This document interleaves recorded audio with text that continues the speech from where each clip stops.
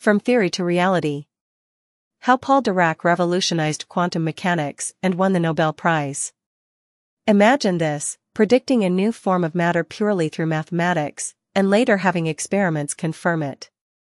That's what Paul Dirac achieved.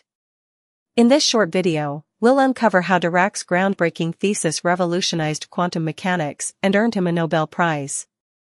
In the 1920s, physics faced a challenge, reconciling quantum mechanics with Einstein's relativity. Dirac solved this with his famous equation, describing electrons and predicting something astonishing, antimatter. This idea seemed far-fetched, but Dirac trusted the mathematics. In 1932, Carl Anderson discovered the positron, proving Dirac right. Antimatter was no longer just theory, it was real. This breakthrough changed physics and led to practical applications like PET scans, used in medicine today.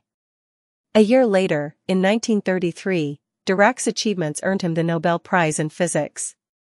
His work laid the foundation for quantum field theory, influencing everything from particle physics to modern technology. Paul Dirac's journey from mathematical theory to tangible reality is a testament to the power of human curiosity and intellect. His work reminds us that even the most abstract ideas can transform our understanding of the universe.